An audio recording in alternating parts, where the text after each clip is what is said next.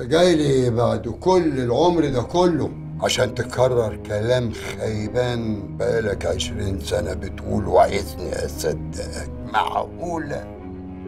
ده مش كلام خيبان يا شوقي باشا. دي الحقيقة. والله دي الحقيقة. الحقيقة اللي لو سعادتك ولا حد من اللي كانوا بيحققوا معاك صدقها ما كانش بقى ده حالي. يا باشا أنا قصتي بتبدأ وتنتهي. عند زهير الملاح. زهير الملاح يا باشا.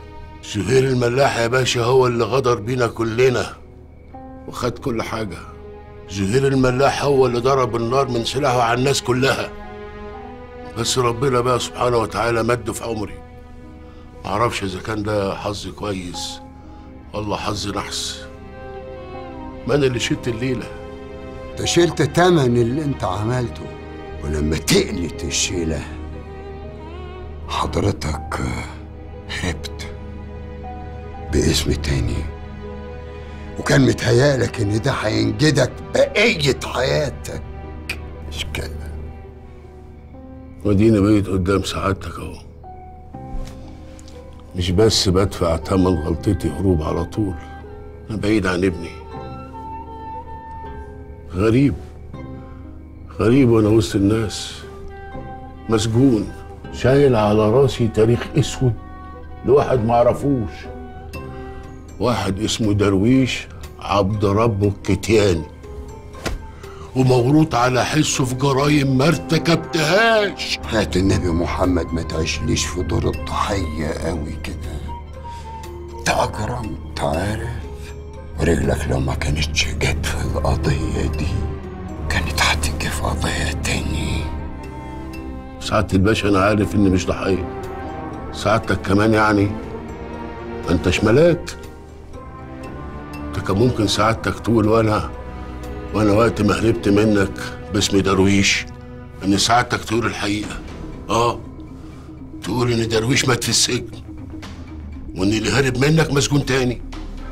بس أنت بقى سعادتك خفت لأنهم بدل ما كانوا بدل ما كانوا هيحاسبوك مرة. هيحاسبوك مرتين مرة على المسجون اللي هارب منك ومرة على التزوير اللي حصل في سجلاتك. صح؟ تصدق للأسف ممكن تكون دي الغلطة الوحيدة اللي عشت عمري كله ندمان عليها. ما كانش لازم أخاف أبدا على اسمي وأقول على كل حاجة. لكن خلاص خلاص هي جت الفرصة عارف. إن أنا أصلح غلطتي هو العمر بقى فيه لسه كتير يا باشا عشان تصلح غلط بغلط. وأنت عارف إنه غلط.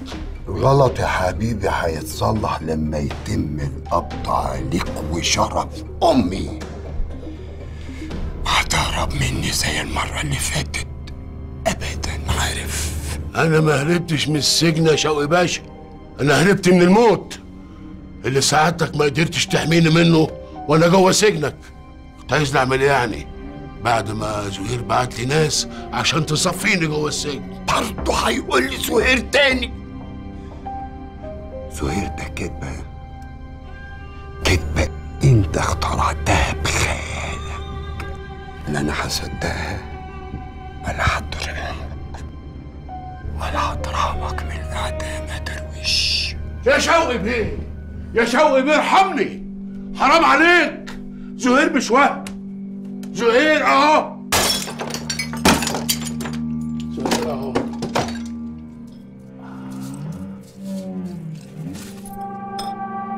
اهو زهير اهو دسوقي تحت دراع زهير اليمين. وأنا اهو كتفي جنب كتفه.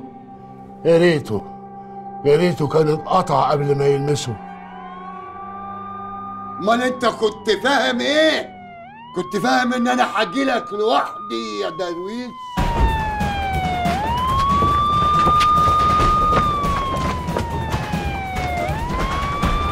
قفل لي الشارع. مش عايز بني آدم يخرج.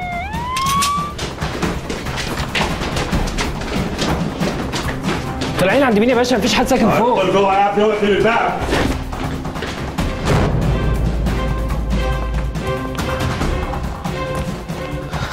باشا باشا إيه.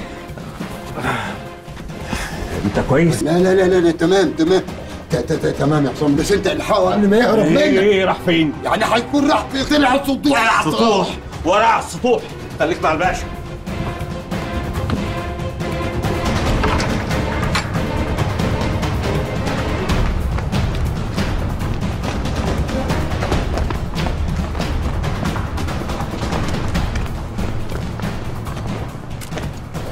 ابني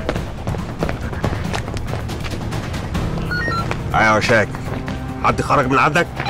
محدش خرج ولا دخل يا فندم. يبقى لسه موجود هنا. مشطوا المنطقة بيت بيت لحد ما تلاقوه. ملوش أثر. يعني إيه ملوش أثر؟ ركب جناحات وطار. اتفضل. عصام.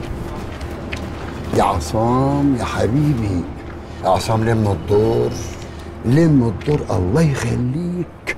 عشان الموضوع ما يكبرش أكتر من كده. فاهم باحترام اللي معاليك أنا قلت لك ما تجيش هنا لوحدك. فجأة إيه يا عصام؟ أنت هترفع عليها صوتك ولا إيه؟ الحكاية مش فاهمها. خالي خالي ربنا يستر يا فؤاد. هما كانوا طالعين عند مين؟ هو إحنا في فوقنا غير شقة واحدة. ربنا يستر. اجمع القوة يا ابني وحصلني. وسيب لي اتنين تلاتة مخبرين في الشارع. أنا مش قادر أفهم أنا اتنين تلاتة مخبرين اللي أنت حاسبهم دول ممكن إن هم يعملوا إيه؟ أنت متخيل؟ إن بعد كبسه زي دي هيرجع تاني افهمها بقى. انت إيه حكايتك يا أخي؟ إفهم. أيوه يعني طب إحنا هنجيبه إزاي دلوقتي؟ ما تقلقش. زي ما جبته مرة. وحياة أمك هجيبه مرة تاني